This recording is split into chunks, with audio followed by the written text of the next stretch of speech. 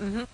The COVID-19 pandemic won't dampen the Halloween spirit at Shriners Hospital for Children. Take a look at these. These are just some of the pumpkins. That's really creative, decorated for the hospital's annual competition by employees. Because of the pandemic, the hundreds of employees at the hospital can vote online for their favorite. The winner will be announced tomorrow at 11, and the same team won the competition the last two years in a row. I was expecting just a little bit of carved out pumpkin. That's pretty impressive there, Rob. More artistic ability than I have in my entire life. Ever.